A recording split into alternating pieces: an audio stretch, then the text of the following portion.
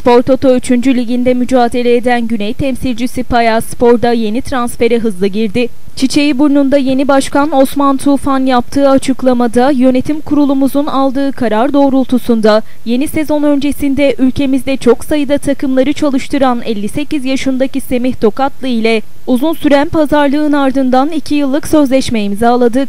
Semih Tokatlı hocamızla başarılı olacağımıza inanıyoruz. Gerek Payas sporumuza gerekse hocamız Semih Tokatlı'ya hayırlı olsun dedi. Kısa açıklama yapan Payas Spor'un yeni teknik direktörü Semih Tokatlı, Payas Spor'a gelmekten büyük mutluluk duymaktayım. Yönetimimizle birlikte Payas Spor'u en iyi yerlere taşımak için çalışacağız dedi.